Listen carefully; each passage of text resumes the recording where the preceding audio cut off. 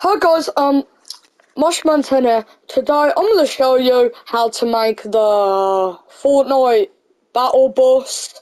So I'm going to teach you how to.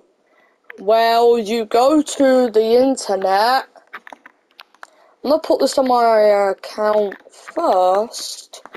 Before we do the video. Hold on for a minute. Um, then you go to Travel Transport. You usually go there or if if that's not on there, go to travel and transport. Go to this website right here. So you press that, you go full door, you press that, then you keep going down. You need to get a one per um custom. You need to get that amount of money and then color it in blue and buy.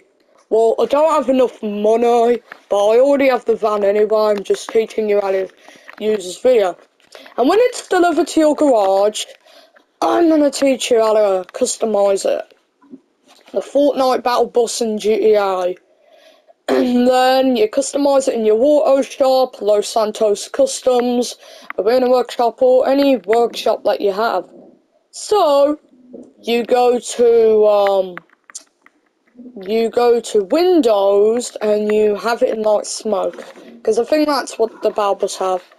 So first, you go to off-road, and then do stock rims, and get the mudslinger. Boom, that's how you get it. Do not get the stock wheels because you cannot colour the stock wheels. Get the mudslinger.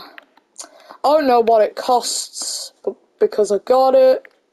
Do not use like tire design or whatever. Oh. Hmm. Well, in a Fortnite Battle Bus, they don't have um the wheel design, but it's my choice and I'm gonna get it. So yeah, guys, um, this is my Battle Bus. So yeah, don't forget to like and subscribe and comment down below what is your favourite part of this video and I'll see you again soon. Bye guys!